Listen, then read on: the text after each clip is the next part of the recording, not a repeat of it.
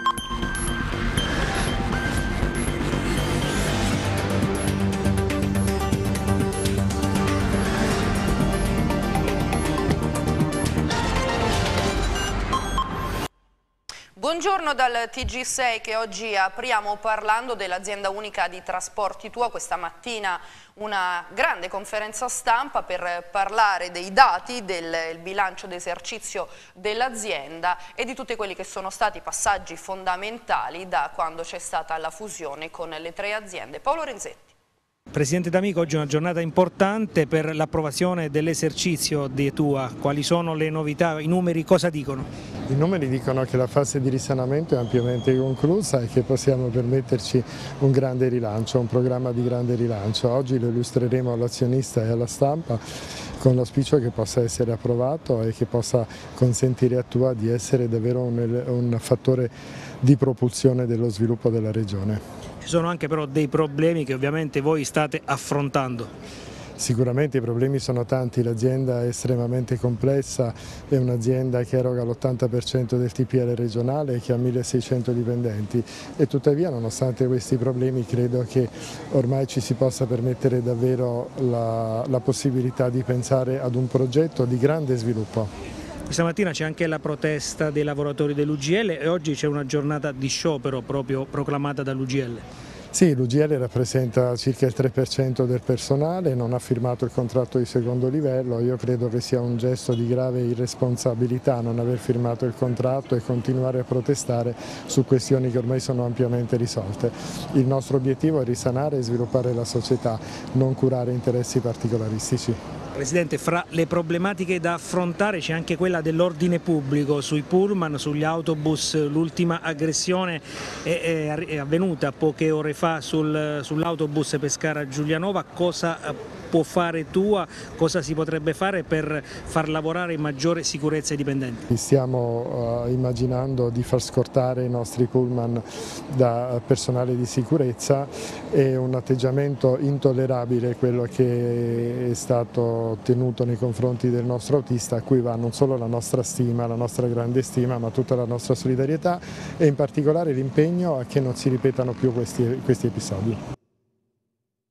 Sempre nella mattinata c'è stata la nomina del nuovo CDA dell'azienda di trasporto unico abruzzese che è composto da quattro membri. Per il quinto componente ci sarà una nomina successiva. È stato confermato presidente il magnifico rettore Luciano D'Amico, confermati anche i consiglieri Guido Dezio e Giovanni Di Vito, mentre entra a far parte del CDA l'ingegner Natascia Passerini, esperta in infrastrutture. Escono quindi dal CDA Rodolfo De Laurentiis, ex CDA della RAI e l'ingegner Evelina D'Avolio. Continuiamo a parlare di quella che è stata nominata anche la festa della tua questa mattinata, erano presenti anche i sindacati, non tutti perché come abbiamo ascoltato nell'intervista di Paolo Renzetti, fuori a presidiare con un sit-in c'era proprio eh, l'unica sigla sindacale a non aver apposto la firma ai contratti di armonizzazione, l'UGL. Nel giorno della presentazione del bilancio d'esercizio di Tua, l'UGL sciopera oggi in Abruzzo per quanto riguarda proprio il settore dei trasporti, c'è questo presidio qui eh, dinanzi la sede della Tua, il perché di questa protesta e di questo sciopero? Intanto il, lo sciopero era stato organizzato prima di sapere che oggi eh, ci sarebbe stata la presentazione del bilancio tua, quindi era già programmato. Il presidio è importante perché una volta per tutte eh, l'unica sigla sindacale che non ha firmato il contratto di Tua è l'UGL che è coerente con le ragioni per cui non le ha firmate. Quali sono queste ragioni? Vogliamo ricordarlo? Sì, assolutamente. E innanzitutto i tanti privilegi che non sono stati abbattuti a discapito del, di una ehm, sicuramente ehm, programmata, ehm, programmato esubero del, del personale. Ehm, ci sono de, anche dei privilegi che sono stati ehm, dati a vantaggio di dirigenti, a svantaggio invece di quelli che sono i veri operatori della, di TUA, e cioè gli autisti che portano il pullman. Eh, abbiamo anche denunciato che ci sono dei problemi sulle macchine, eh, sia sui pezzi di ricambio che sulla sicurezza. E in realtà un altro punto in cui l'UGL tiene a sottolineare è che i nuovi assunti verranno trattati in maniera diversa e sicuramente in maniera veramente, io la vorrei definire ignobile. La Polizia Stradale inaugura un nuovo centro operativo all'avanguardia nato per raggiungere una maggiore efficienza e anche un maggior coordinamento. Nasce dall'unificazione dei due centri operativi autostradale e anche quello compartimentale. Ci spiega tutto Daniela Rosone.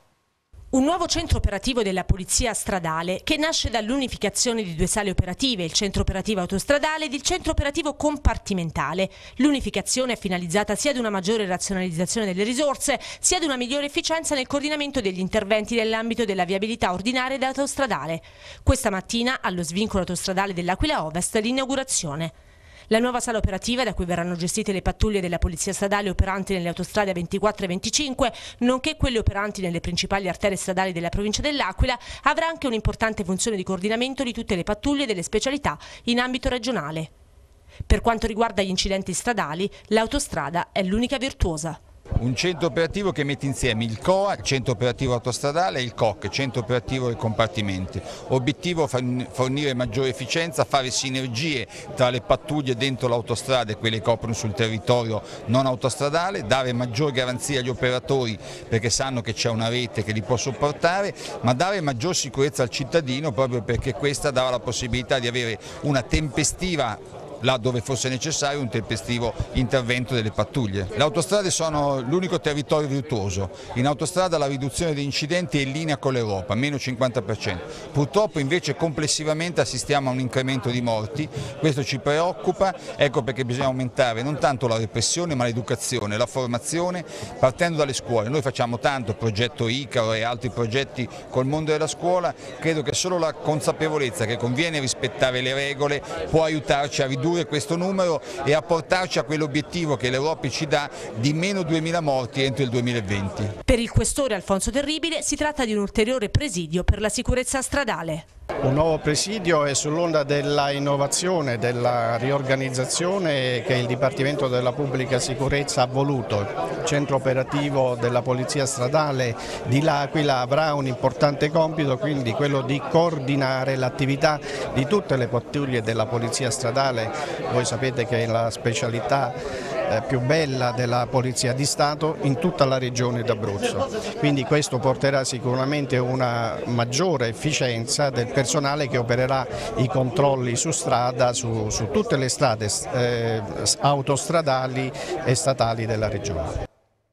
Si è svolta questa mattina l'ufficializzazione della nuova giunta per il comune di Roseto e dopo una lunga attesa Sabatino di Girolamo esclude la lista Amoroseto dagli incarichi ufficiali e gli ex avversari siglano un divorzio ufficiale con il PD di Tommaso Ginoble. Vediamo.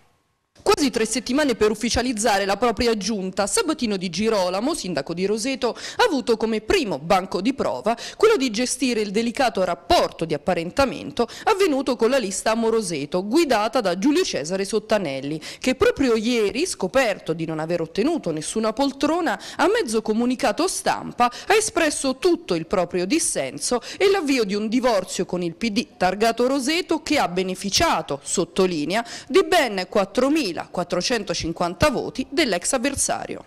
Questo divorzio dispiace molto al sindaco di Roseto, eletto recentemente, perché eh, il sindaco di Roseto voleva avviare un percorso di unità e un percorso di riappacificazione di tutte le anime del centro-sinistra rosetano.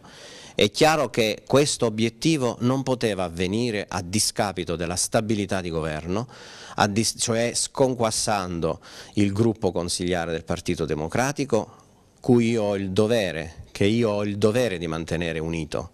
È stato detto assenza totale di D'Alfonso a Roseto, non solo durante la campagna elettorale ma anche dopo la nomina. Eh, lei ha mandato anche un messaggio al governatore D'Alfonso. Conto però che in futuro il nostro governatore voglia rispettare la volontà dei rosetani e quindi collaborare con il sindaco che i rosetani hanno con chiarezza scelto. Il primo lavoro del nuovo sindaco sarà quello del bilancio, la situazione come si preannuncia? Non ho avuto tempo ancora di rendermi conto dello stato del bilancio comunale. Questa è la prima cosa a cui metterò mano con l'aiuto del neo assessore Frattari che è estremamente esperto in materia per capire come sta il nostro bilancio. Condicio sine qua non per avviare quest'opera di conoscenza, per avviare un lavoro serio dedicato soprattutto alla manutenzione del territorio.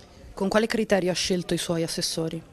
Il criterio è stato quello di mischiare esperienza e gioventù innanzitutto e credo di esserci riuscito, l'entusiasmo dei novizi con quello di maggiore, di maggiore esperienza. E allora ora nel dettaglio vediamo la composizione della nuova giunta del comune di Roseto. Simone Tacchetti sarà vice sindaco con delega ai lavori pubblici, al lavoro e servizi cimitariali. E poi Antonio Frattari delega al bilancio, finanze e programmazione economica, commercio, patrimonio e polizia municipale. Nicola Petrini assessore a manutenzione del territorio, ambiente, parco mezzi, anagrafe, servizi demografici e agricoltura. Luciana Di Bartolomeo assessore servizi sociali, alla pubblica istruzione e infine Carmela Bruscia, delegata a cultura e turismo. Restano nelle mani del sindaco di Girolamo le deleghe allo sport e all'urbanistica. Ci spostiamo a Pescara perché negli ultimi giorni si era parlato molto di un crollo ingente eh, delle, dei turisti proprio sul litorale, si era parlato di un danno del 40% eh, rispetto allo scorso anno e allora questa mattina a parlare delle problematiche legate al turismo e dovute ovviamente alla situazione della balneabilità del mare c'era la SIB Confcommercio che corre ai ripari con alcune iniziative. Vediamo. Padovano, un crollo del 40% almeno delle presenze turistiche a Pescara, situazione drammatica per i balneatori ma per tutto il movimento turistico della città di Pescara. Purtroppo questo era da aspettarselo, che ci fosse stato un calo così forte. C'è stata troppa superficialità nello scorso anno per quanto riguarda la questione ambientali, ci siamo riempiti la bocca dicendo che il nostro mare non era pulito, noi abbiamo su 22 km di costi, io dico 22 km perché il dramma è su Montesilvano, Francavilla e Pescara, 22 km, abbiamo soltanto 300 metri lineari di mare non balneabile, quindi tutto il resto è mare balneabile. Purtroppo non c'è stata nessuna iniziativa di, né della regione né dei comuni per mettere in moto una macchina che promuovesse il nostro mare e promuovesse anche le nostre infrastrutture. Questa crisi non riguarderà soltanto i balneari, ma a ottobre ci saranno anche altre ripercussioni su tutto l'indotto che sta dietro i balneari. Noi adesso abbiamo messo in piedi un'altra iniziativa, stiamo portando avanti come SIB Confcommercio con Trenitalia, se due persone prendono il biglietto ne salgono tre, quindi c'è uno sconto del 50% e a ridosso di questo chi viene al mare col biglietto del treno presso i lidi della Confcommercio usufruirà di uno sconto del 50%. Domani mattina sigleremo l'accordo anche con Tua, con il trasporto urbano abruzzese, per fare in modo che a Pescara, che a Francavilla, ma anche altrove, si possa venire al mare col mezzo pubblico. Restiamo a Pescara, la lista Teodoro denuncia un atteggiamento di disparità nei confronti di alcuni lavoratori della Pescara Parcheggi. Ascoltiamo. Teodoro, voi denunciate una mancata rotazione di alcuni lavoratori di Pescara Parcheggi che eh, sarebbero in pratica senza lavoro da diversi mesi. Il perché eh, di questa situazione come si può spiegare? Ma non sappiamo le ragioni, abbiamo ascoltato le ragioni dei dipendenti, eh, speriamo mercoledì di poter ascoltare le ragioni dell'azienda.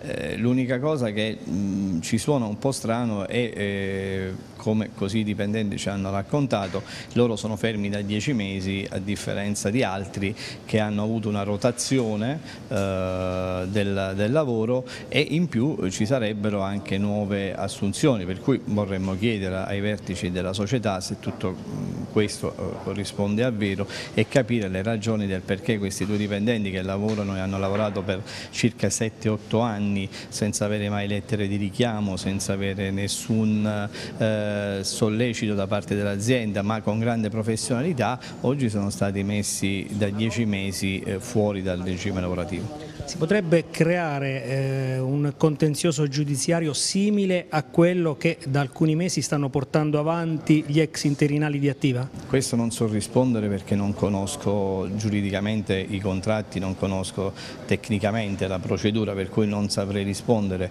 Eh, ho visto che c'era un legale eh, qui eh, portato dai dipendenti, sarà il legale che deciderà cosa, cosa fare nel futuro.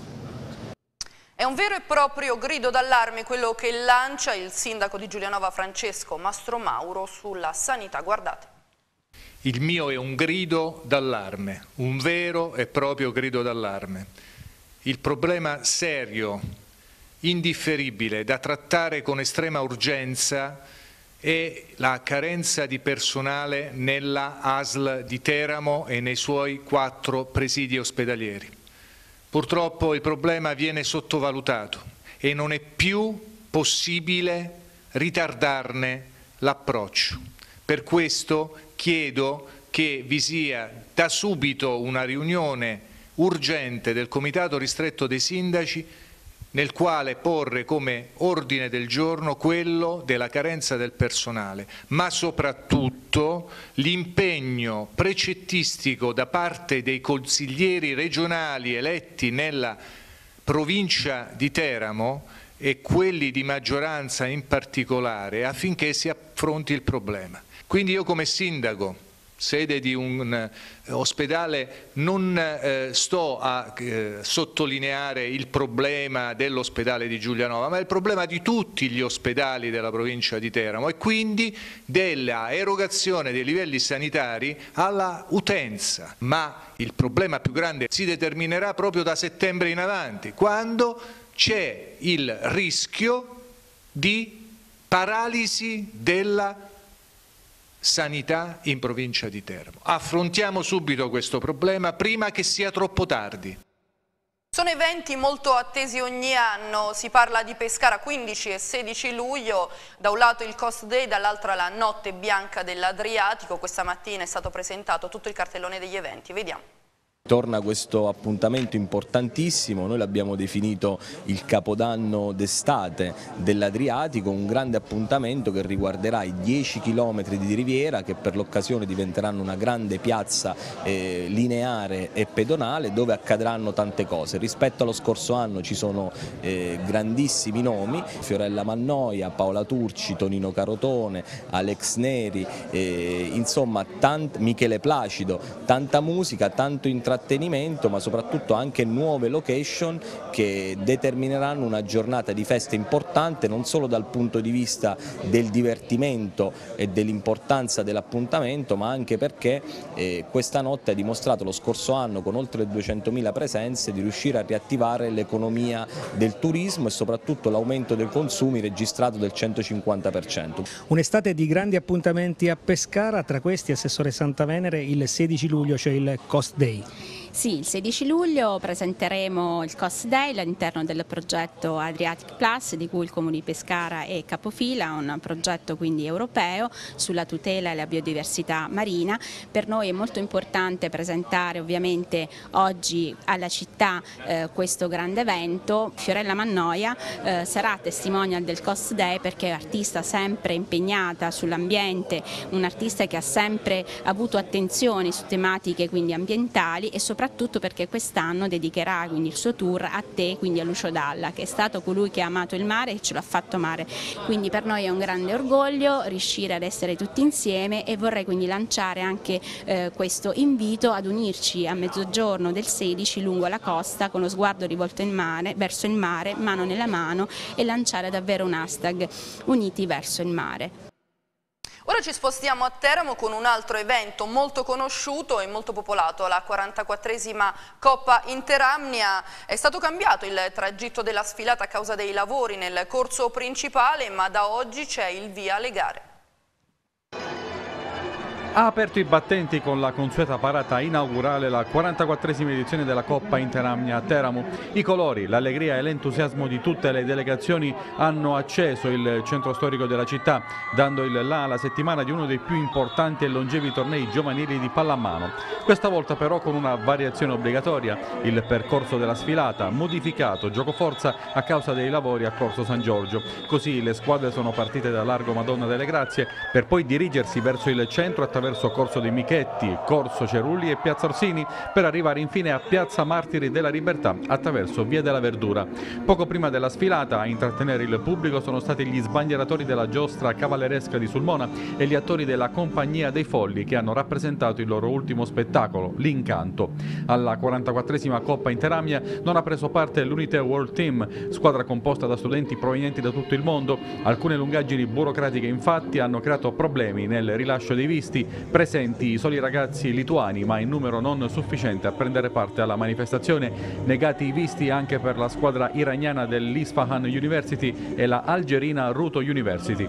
Già da oggi si svilupperà il calendario delle partite sul campo allestito sempre a Piazza Martiri dove gli incontri si disputeranno fino alle ore 23. La manifestazione sarà accompagnata da una serie di eventi collaterali tra i quali l'elezione di Miss e Mister Coppa Interamnia sabato sera organizzata dal consigliere comunale Guido Campana.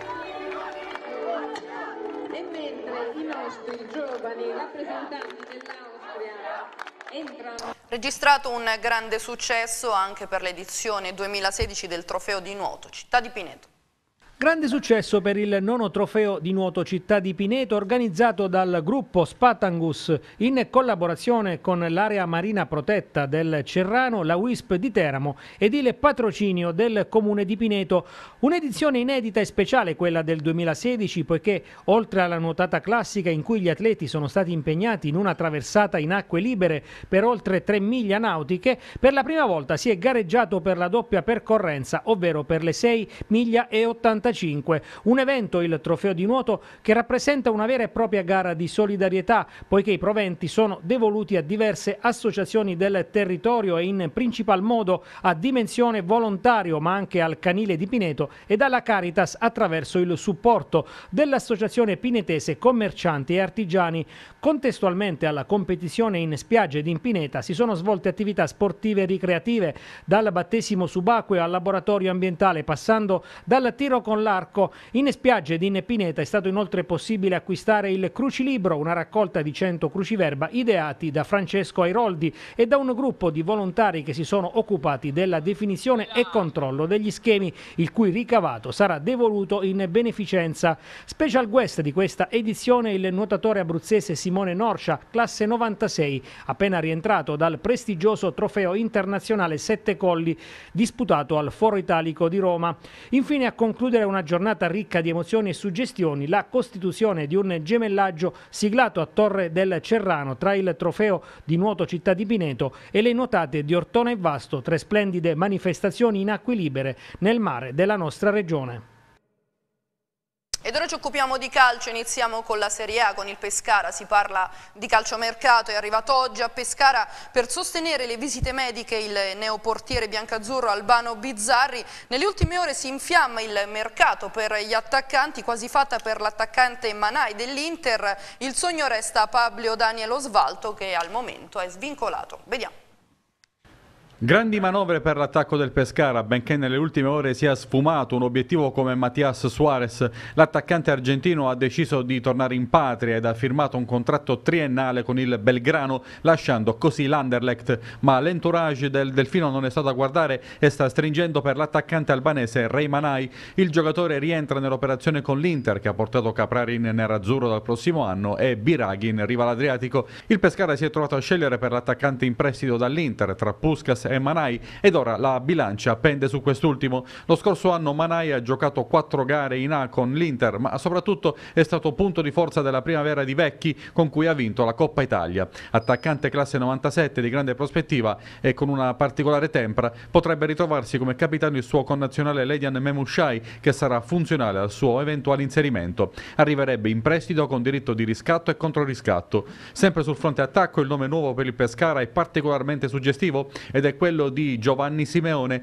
figlio del Ciolo Diego, classe 95 di proprietà del River Plate, ha giocato una buona stagione in prestito al Banfield e potrebbe approdare nel vecchio continente proprio indossando il biancazzurro. Il presidente Sebastiani però è al lavoro anche per un grande nome, torna di prepotenza l'ipotesi dell'italo-argentino ed ex nazionale azzurro Pablo Daniel Osvaldo, svincolato da maggio dopo l'ultima esperienza con il Boca Junior, al centravanti è stata fatta una proposta annuale da 750.000 euro. Osvaldo chiede più di un milione, si tratta. Altri nomi di rilievo su cui lavorare sono il cileno Maurizio Piniglia, che potrebbe lasciare l'Atalanta visti i rapporti non idilliaci col neotecnico Gasperini, e Alessandro Matri, di proprietà del Milan. Se non dovesse rientrare nei piani di Montella, il Delfino potrebbe fare più di un pensierino lavorando ad una formula che vada a mitigare l'alto ingaggio del giocatore. Domani intanto il gioiellino Alessio Di Massimo firmerà il contratto e sarà valutato dal tecnico Massimo Odo in ritiro per capire se tenerlo o girarlo in prestito. Sul fronte difesa restano caldi i nomi di Guglielmo Stendardo dell'Atalanta e Norbert Ghiomber della Roma. A questi nomi si aggiungono altre ipotesi come Rodrigo Eli del Milan e l'ex Mobido Diachite, ora svincolato. Infine oggi prima giornata a Pescara per il neoportiere Albano Bizzarri che nella mattinata ha sostenuto le visite mediche al Centro Universitario di Medicina dello Sport. E ora ci occupiamo di Lega Pro perché sono ore decisive per il futuro della Virtus Lanciano. Eh, il, la società rossonera entro domani dovrà infatti provvedere al completamento dell'iscrizione al campionato di Lega Pro, pena l'abbandono del calcio professionistico. La proprietà, rappresentata dalla famiglia Maglio, dopo aver pagato stipendi e contributi, ha deciso di non ricapitalizzare per il milione e mezzo eh, di euro necessario per ripianare il bilancio. La salvezza del calcio frentano è ora nelle mani di alcuni imprenditori imprenditori che potrebbero subentrare all'attuale proprietà e che nelle prossime ore si incontreranno con il sindaco di Lanciano Mario Pupillo. Se così non fosse sarebbe la fine, dopo otto anni, per i colori rossoneri. Ci occupiamo di Teramo, domani Sansovini darà una risposta al Teramo ma in casa biancorossa filtra anche ottimismo, in piedi c'è la maxi operazione con il Pescara che però a sorpresa non dovrebbe prevedere il passaggio di Alessandro Di Paolo Antonio in bianco-azzurro, il servizio di Jacopo Forcello. Sansovini sì, Sansovini no. Nell'attesa che l'attesa finisca e il centravanti romano dia una risposta al Pescara prima che al Teramo, i biancorossi lavorano per le conferme di alcuni della vecchia guardia. Se ne saprà di più nella giornata di domani per la punta. Intanto alle 13 vertice di mercato in via Oberdan tra il direttore sportivo Fabio Lupo, il direttore generale Gianluca Scacchioli e il presidente Luciano Campitelli. Domani Scipioni invece dirà di nuovo sì al diavolo, prolungando un matrimonio che quest'anno pareva potesse concludersi dopo un'annata con più ombre che luci. Il progetto del Teramo e la mancanza di offerte che potessero farlo vacillare come quelle arrivate lo scorso anno di questi tempi, suggeriranno all'esterno di rimettersi in gioco nella piazza che è di fatto casa sua. Situazione diversa per Alessandro Tonti. Ogni giorno che passa l'estremo difensore si allontana dai colori biancorossi. Per rimanere dovrà accettare di spalmare l'ingaggio su più anni e non avendo la certezza di essere il titolare. In pole position per sostituirlo c'è Riccardo Melgrati, giovane estremo difensore di 22 anni, ultima stagione alla Provercelli ma di proprietà del Cesena, e lui l'indiziato iniziato principale a difendere l'anno prossimo la porta del diavolo, anche se la pista non è affatto semplice.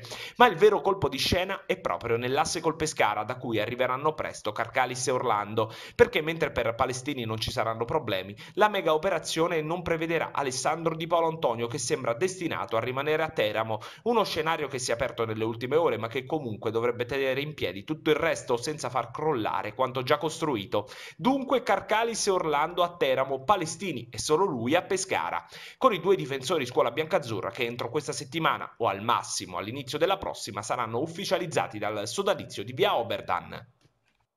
Tutto pronto a Ripa a Teatina per la dodicesima edizione del premio Rocky Marciano. Quest'anno i premiati saranno Gianni Rivera, Massimo Oddo, il campione europeo di pesi Welter Leonard Bundu. Vediamo.